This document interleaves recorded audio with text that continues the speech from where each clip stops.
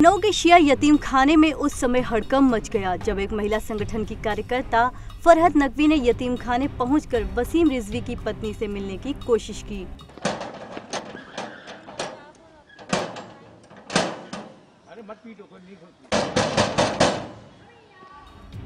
दरअसल फरहत नकवी को पिछले कई दिनों से फ़ोन पर शिकायत मिल रही थी कि शिया वक्फ बोर्ड के चेयरमैन वसीम रिजवी ने अपनी दूसरी पत्नी को जबरन बंधक बनाकर रखा है। इसके बाद फरहत नकवी ने यतीम खाने पहुंचकर उस महिला से मिलने की कोशिश की।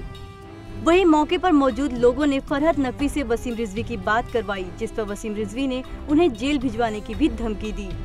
वक्फ बोर्ड चेयरमैन वसीम रिजवी जी, अपनी वाइफ को सेकंड वाइफ ब्यूटी नाम की जो महिला हैं, उनको बंदी बना के रखते हैं और मार पीट करके अपनी वाइफ के साथ उत्पीड़न करते हैं।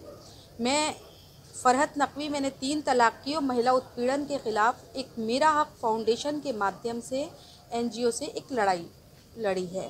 तो जब हमें सूचना मिली कि काफ़ी टाइम से ये टेलीफोन के माध्यम से अड़ोसी पड़ोसियों से हमें सूचना आ रही थी कि वसीम रिजवी जी इस तरह का उत्पीड़न अपनी वाइफ के साथ कर रहे हैं और बंद कमरे में बंदी बना के उनको रखा है, किसी से मिलने जुलने नहीं देते हैं।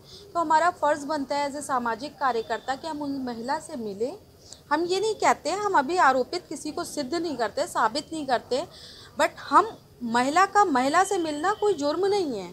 हम उस महिला से एज अ सामाजिक कार्यकर्ता मिलके सिर्फ़ हमें उससे पूछना था, जिससे हमें पता चल सके कि आखिर सच्चाई क्या है। इसलिए हम उनके घर पे गए। उनके घर पे उन्होंने मेरे पीछे काफ़ी लोग लगा दिए। और से आप आई थी कहाँ गई थी? उनका घर कहाँ पे था? ये यतीम खाने में पता चला था। यतीम खाने में बंदी बना के उसको महिला को रखा है।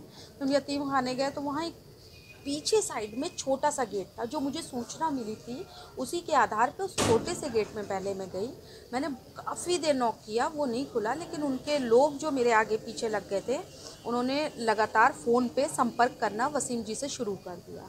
और संपर्क करने के बाद उनके फ़ोन से उन्होंने वसीम रिजवी जी ने मुझसे बात की तो मैंने कहा, भाई, हमें सिर्फ़ आपकी वाइफ से मिलना है एज अ सामाजिक कार्यकर्ता, हम चाहते हैं कि हम हमको सच्चाई सामने आए कि जो हमको सूचना मिल रही है, ऐसा है या नहीं है? तो उन्होंने बोला कि आप घर में नहीं घुस सकती। पहले मेरे को धमकी देने लगे कि मैं आपको जेल भिजवा दूँगा। मैंने कहा, अगर ऐसा कोई कानून है कि एक महिला से महिला का मिलना जुर्म है तो बेशक आप मुझे जेल भिजवा दीजिए। लेकिन एक महिला से मिलना, उससे पूछना, मैं अभी ये तो नहीं कह रही कि आप आरोपी हो। मैं सिर्फ़ आपकी वाइफ से मुँह से सुनना चाहती हूँ कि सच क्या है, कि ताकि मेरे पास ये जो लगातार फ़ोन आ रहे हैं, वो फ़ोन ना आए। फ़िलहाल फरहत नकवी ने सादतगंज थाने में अपनी तहरीर दी है और अब वो महिला आयोग और उच्च अधिकारियों से मामले को लेकर बातचीत करेंगी, ताकि उस महिला को इंसाफ मिल पाए।